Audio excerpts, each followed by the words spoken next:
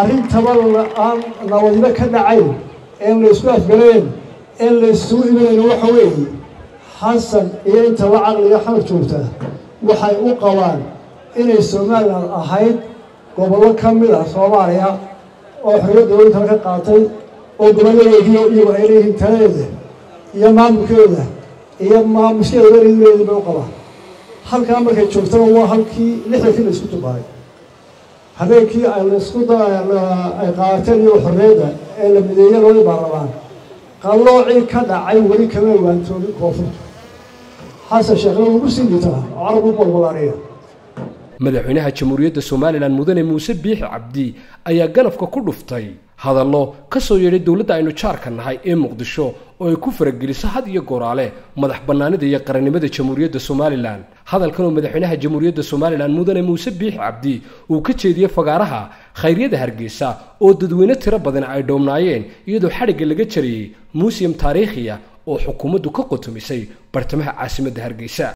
Sidee loo wada hadli karaa sidee u heshiin karaa laba nin oo nina yahay aniga jaac baa la idhaahdaa ka kale u leeyahy kuuma aqaana anaad magactoo magacayga ta qof ka mid a tahay aniga. Waxay tahay qof tahay kuuma ogolin oo caqliga kuwa waxba ka taliya.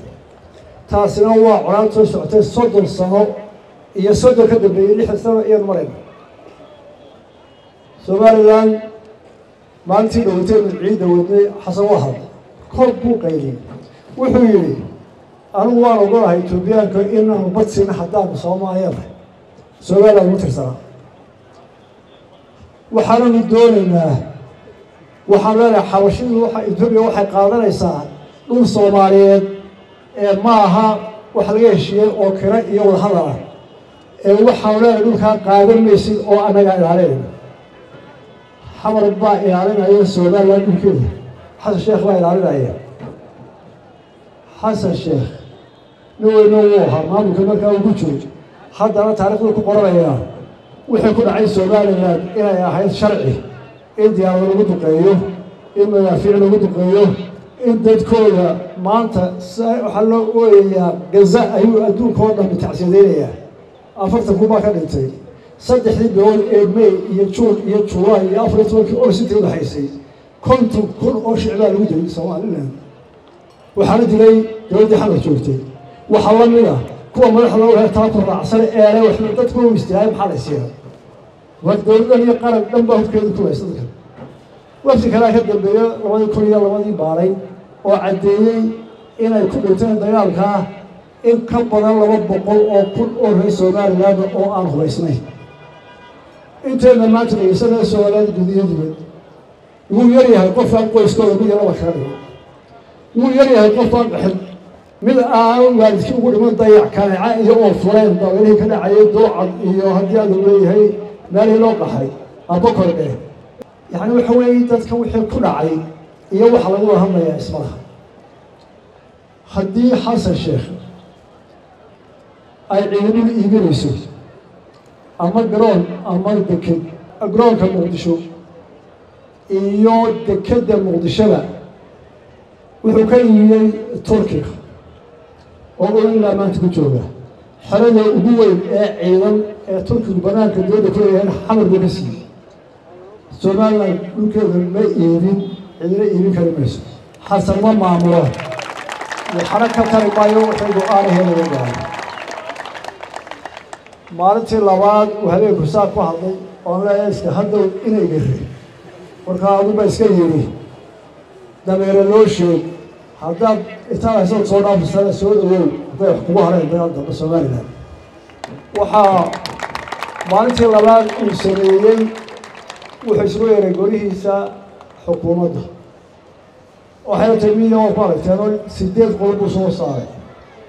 Kuwaa dabageli maayo? Xasan wuxuu yidhi argagixisada gooni goosadkaa iyo argagixisada labadaba iskaaciyo gooni goosadka iyo argagixisadu waa cadowga maanteenu weyn. Waxaynu xoogga saaraynaa oo aynu xooggoonu isu geenaa inaynu la dagaalano gooni goosadka akriya wuxuu qoray kumuu daray dagaalkaa argagixisada gooni goosadka haddaba yaa gooni goosada waa yaabe xasan wuxuu dafirsan yahay iyo inta la caqlihi inaanu ahay laba dowladood oo si siman oo walaaltinimoa kuwa kala raadinaya aynu u midoobay ka bacdina aynu kala baxnay markii ay duntay wixii lagu midoobay inkastoo intaaba kacbada aynu ka hadlayno xasan muxuu raacin waaye? Waxaynu la dagaalamaynaa. Gobolka reer somalilan iyo argixisada argixisada muxuu uga reebay? Wuxuu uga reebay. Heshiis baa la bilaabay uu heshiinaya al-shabaab. Qadar bay suganayaan dhowaan koob iyo tobankii bishii juun buu taa ka iclaamiyey norway isaga oo jooga.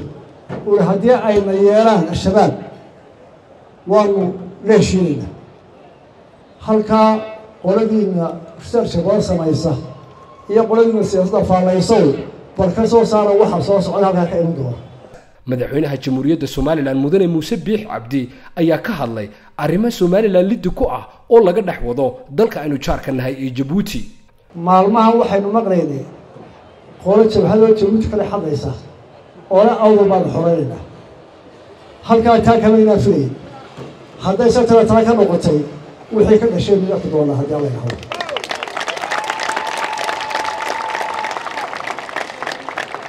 waxaan ku soo koobayaa somalilan maanta loo biqi maayo.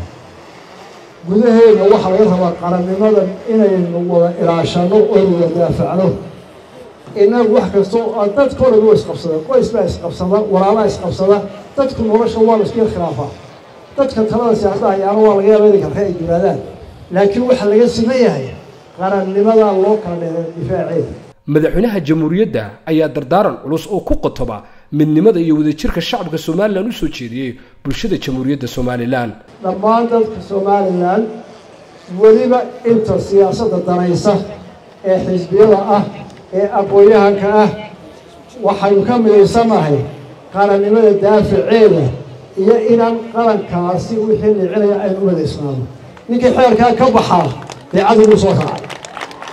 Kaana hala ogaado waxaan ku soo gabagabaynaya somalilan ha noolaato ha noolaato cadowgeedu ha jabo. Ridwaan caydiid ismaaciil akiid warbaahinta qaranka jamhuuriyadda somalilan bartamaha magaalada hargeysa